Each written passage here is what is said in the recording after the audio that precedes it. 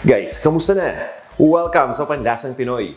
Ipapakita ko sa inyo ang nadiskubre kong paraan kung paano magluto ng mura, masustansya at napakasarap na munggo dish. At hindi tayo gagamit ng karne dito ah. Sigurado magugustuhan to ng pamilya nyo. Huwag na nating patagalin. I-check nyo muna yung description ng video para dun sa listahan ng mga ingredients. Umpisa na natin to. Magigisa lang muna tayo. Ilalagay ko na dito yung bawang.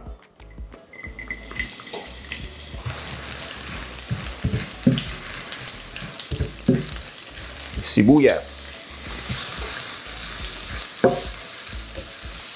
Palambutin lang muna natin yung sibuyas. Tingin ko maganda dito maglagay ng kamatis. Optional ingredient yan, pero kung meron kayong extra na kamatis, lagyan natin.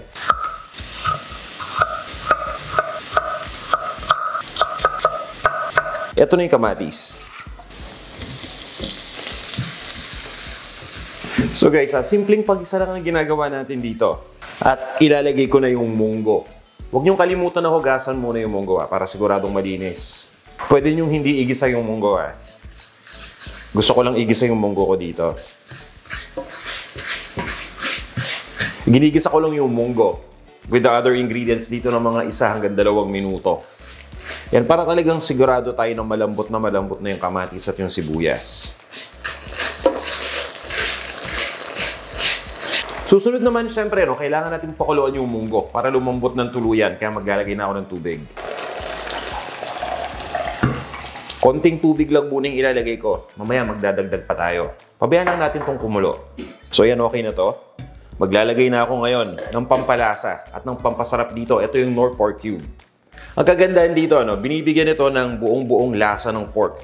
Itong ating munggo. At guys, lalo na sa panahon ngayon, may taglay itong iron na nakakatulong para magpalakas sa ating katawan at nagbo-boost din yung iron ng immune system natin para naman makatulong ito sa pag-iwas sa sakit. So isang peraso lang ng Nor Pork Cube ang ating gagamitin. Hahaluin ko lang yan. Takpan natin ulit ah. Itutuloy ko lang ang pagluto hanggang sa lumambot na rin tuluyan yung munggo. So ito yung sinasabi ko kanina na maglalagay tayo ng tubig kung kailangan. And guys, isa pang tip. Kung gusto ninyong mabilis maluto yung munggo, i-prepare nyo ito beforehand. Ibabad lang natin ito sa tubig overnight para mabilis lang yung pagluto. Huwag niyong tatagalan, magiging toge na yan.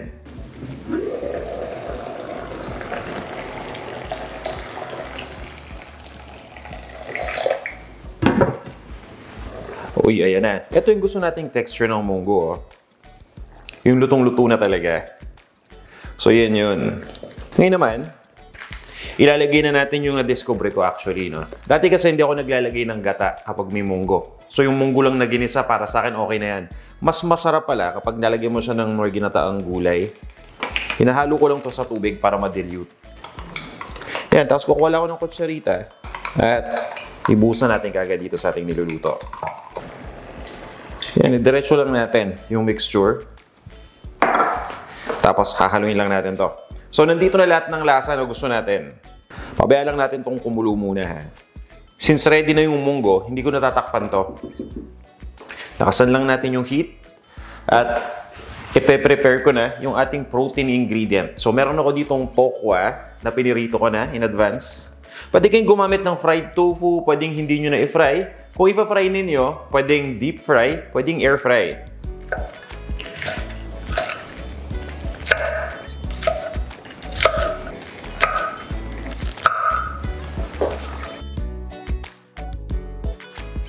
Ilagay na natin yung tokwa.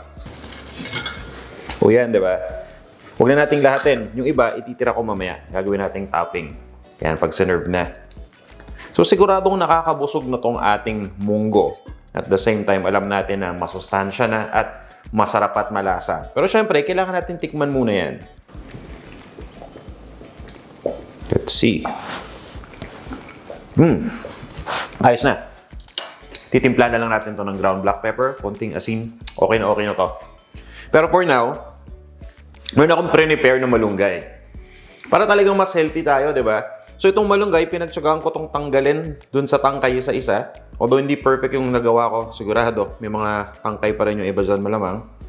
Pero at least, diba, best effort. Pagkatapos niyan, hinugasan ko lang to. Pinakamaganda para mahugasang mabuti, ibabad nyo sa tubig.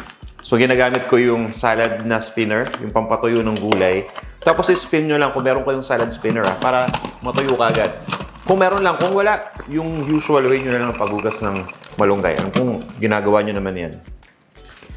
So, haluin ko lang to dito at maglalagay na tayo ng panimpla. Brown black pepper. Para dun sa mga gustong maglagay ng patis, pwede rin yun. Haluin lang natin at ililipat ko lang to sa isang serving bowl. Pagkatapos, iserve na natin. Ito na ang ating healthy tipid na ginataang munggo na may tokwa at malunggay. Yan, kukuha lang ako dito para matikman uli.